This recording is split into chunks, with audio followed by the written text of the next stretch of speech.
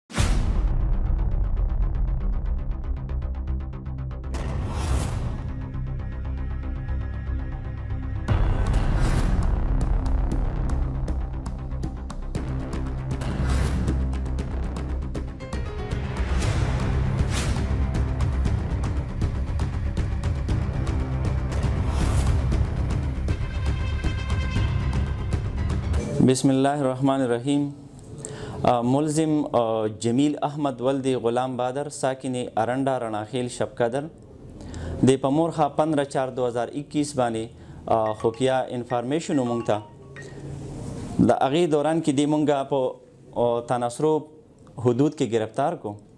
سپیشل ټیم ددی د ګرفتاری د پاره جناب ډی پی او صیب تشکیل کړی وو او ډیر حکمت عملی سره هغه مونږ دی ګرفتار کو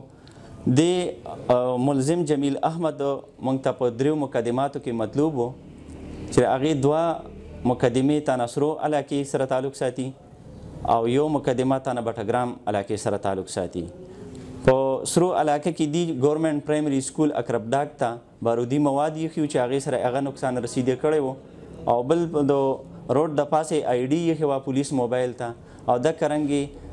د بټګرام په ایریا کې سو نور تخریبي مواد چې په هغه کې پرې مکارډ او بارود وغیره هغه هم دی یخي وسو تخریبي کاروایي د پاره نو په هغه خلاف د دې مقدمات درج شو او بعد د دې کاروایو نه دی افغانستان ته هم تللی راغلی و اورده یو ورور ذاکر الله چې هغه په دوه زره باره کې هغه هم یو کلدم تنظیم سره تعلق ساتو هغه هم افغانستان کې دغه شو وو پات شو دویم دا چې دی نور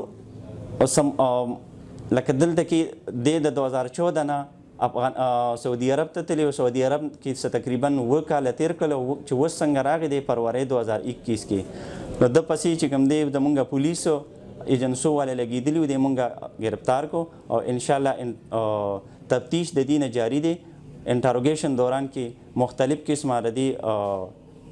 امکانات شته چې نور څه واقعات هم دی کړي وي هغه هم صفحه مثل باندې راشي او هغه به مونږ انشاءالله بیا تاسو ته بیان کو.